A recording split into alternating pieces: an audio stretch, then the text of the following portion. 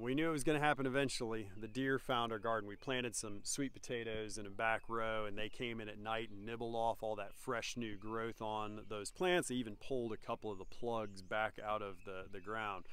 Now, if you've seen some of our other videos, we're going to eventually put in a serious fence system around this whole quarter, half acre, what we're calling our garden area on the farm. So six by six posts and wire, we can even make it electric if we have to.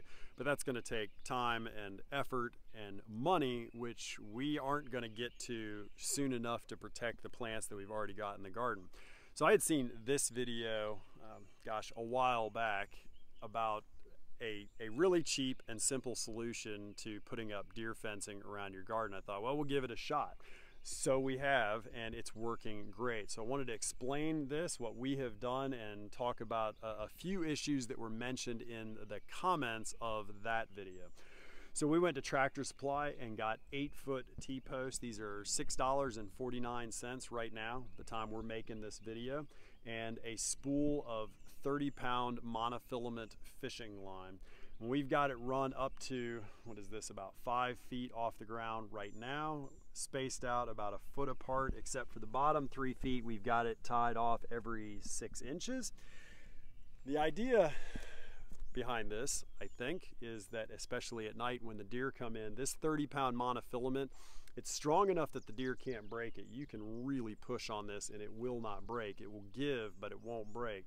But it's thin enough that the deer can't see it. And I, I suspect the way this works is, is as they try to walk into this, they're gonna hit this, not be able to tell what it is, and it's probably gonna freak them out. And since they try and, if they try and go around, uh, they're not going to be able to get in anywhere. It will push them back. They also can't see how high up it goes either. We could add another uh, string if we needed to up higher if we had a sense that they were going over it. A couple of things. The guy that did this came up with this idea and did the original video says don't tie any strings or flags or anything on here to keep you or other people from walking through it because when you make the, the fishing line visible for people, you're also making it visible for the deer. It seemed like a couple of people made comments that uh, they said that the deer got through the fishing line, but they said they had the string two feet apart. I'm not sure why someone would think that having it two feet apart would work because the deer could very easily step through it uh, or even get their heads started going through it and figure out that they could just get their legs over it.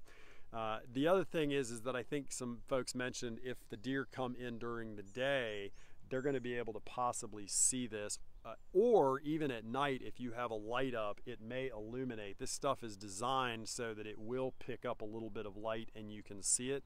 So you really need it in a no light area in your garden at night and during the day. I guess you could just run a lot more string. That would be what I would do. Is a cheap. It's a cheap solution. Is just run it every three or four inches and have it go up. You can also get 10 foot T posts if if you want. So you could go up much higher. Put the post about a foot in the ground, and you could run line up to about nine feet off the ground. One other thing I think comments people said is that uh, in the morning, if a lot there was a lot of dew, you might get water droplets on the fishing line, which would help the deer see where the line was. But again, I think if you could just create a wall of fishing line every so many inches apart, they're not going to go through it, and it will keep them out. Now, in terms of getting into this, you have to obviously leave an opening somewhere. We had originally put these posts in and used them for trellising up the peas and tying up tomato plants. That's kind of a, a mistake. Uh, we will probably end up driving another post in here and tying off these strings there so that we can easily walk and get around but the idea is the same just leave a space where you can get in. We've just been parking our tractor here temporarily so i don't think a deer is going to figure out and it hasn't anyways walking around and getting into here. Uh, the other thing you might do is kind of like a cattle gate type thing where you could have a post and two other posts sort of a y shape that went around it that you could go around but it would be very hard for a deer to get around. So we have had this up for about two weeks or more and it's working. I, I, know that in the comments in the other videos, some people said it didn't work. For us, it has worked beautifully because we've got sugar snap peas here and uh, radishes over here, field peas coming up, and then sweet potatoes. Nothing has been touched all of those things are deer's favorite food and none of them have been touched since we put this fence system up. So it's obviously working really well. So what are you gonna need to put it up? Well, minimally, you need six T-posts. We've got ours, it's, there, it's a 50 foot long area, about 20 feet wide with six posts. Now, so we've got fishing line running 50 feet long and have had no issues. I mean, you can pull it tight enough that you know, it's kept the deer out. So that's uh, 42 bucks in T-posts. We got about a thousand feet, 380 some yards of uh, 30 pound monofilament fishing line for about $7 at Walmart. You can get one of these post drivers which this is a 17 pound post driver so there's a weight weight up here hole here and handles. For holding on to this set it down.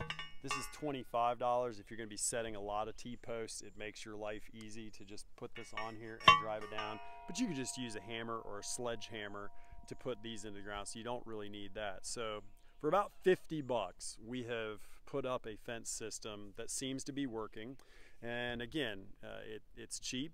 It's replace easily replaceable. The T-posts will last, well, they'll outlast me. And it's working. So if you need to put up a fence, uh, I can't guarantee it will work in your situation. I, I don't know, but if, if you want to put try something uh, pretty cheap and what has been effective for a number of people, I'd highly recommend this one. Thanks for watching. We'll see you in the next video here from St. Isidore's Farm. Take care and God bless.